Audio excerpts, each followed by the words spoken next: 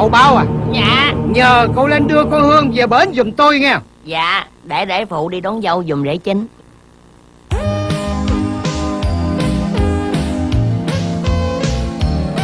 Cô dâu ơi Cô dâu đâu rồi? Sửa soạn xong chưa? Tới giờ về nhà chồng rồi đó.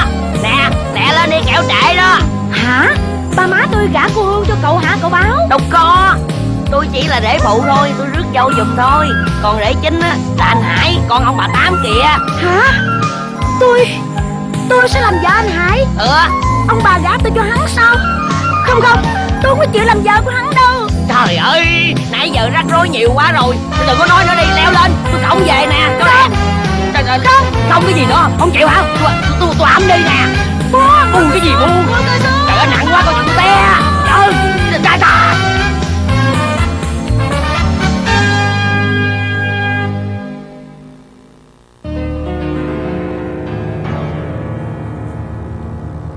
Trời ơi Ai nằm một đống thấy ghê vậy nè.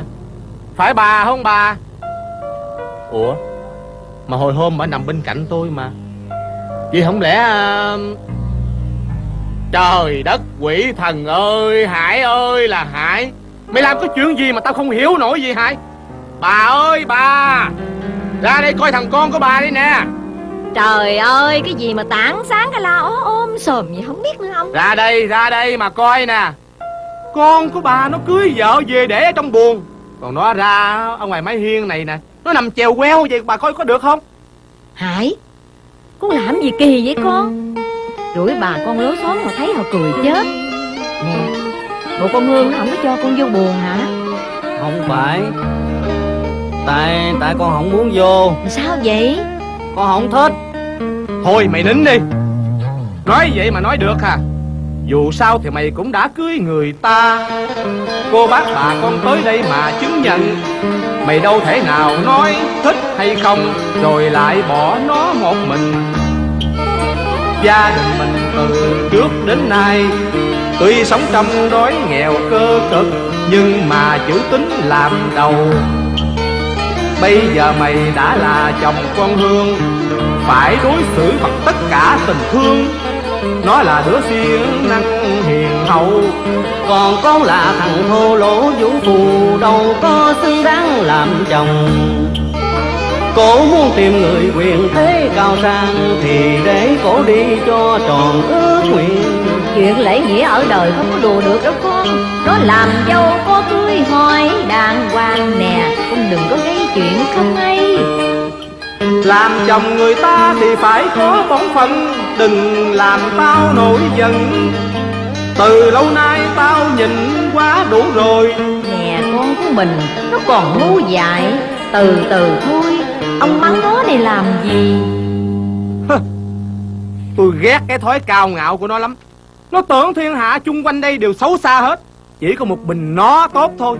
Nó là ngọc ẩn trong bụng mà. Con không nghĩ như vậy nhưng con không thích cách sống cam chịu của ba. Làm thân tá điền, Bị họ đè đầu cởi cổ chưa đủ sao? Mà còn Mà còn hạ mình đón nhận ân huệ của họ nữa.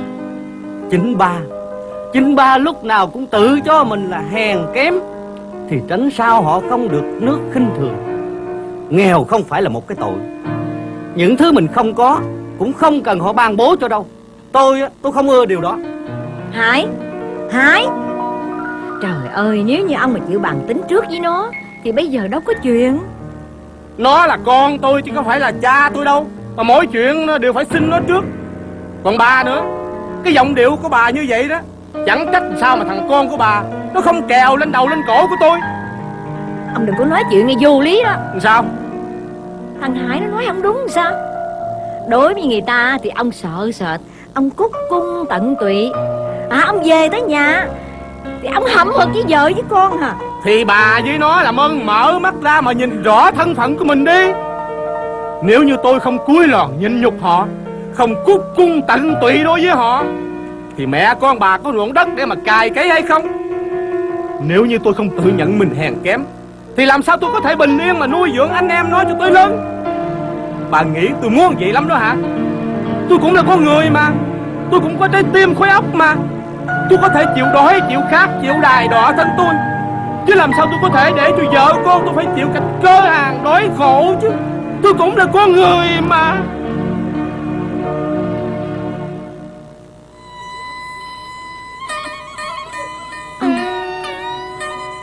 Tôi xin lỗi ông. Từ ngày ta làm bạn với nhau Ông này dành nửa thân mình để tạo dựng cho tôi một mái gia đình đơn sơ mà yên ấm. Rồi những đứa con lần lượt ra đời. Là gánh nặng cứ thêm dần mà triệu xuống vai ông những nụ cười dần khô héo trên môi. Tóc thêm nhiều sợi trắng lưng sắc màu gì thấm đượm mồ hôi, để lo cho mẹ con tôi.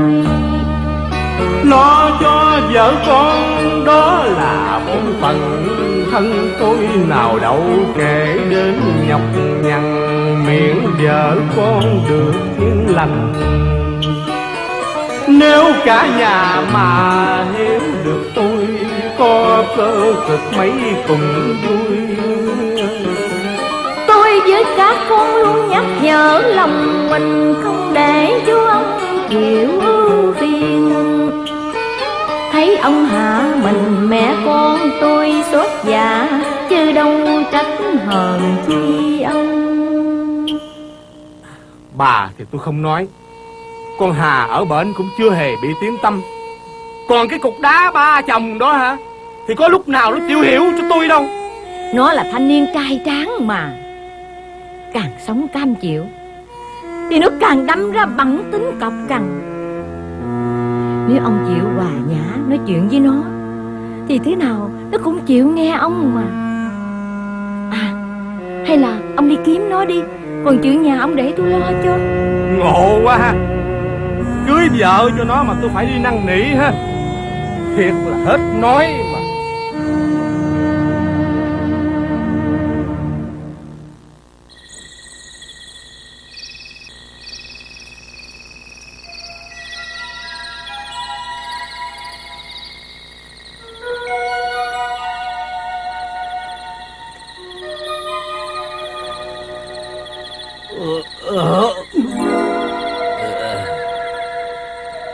Cô Cô làm cái gì vậy? Hả?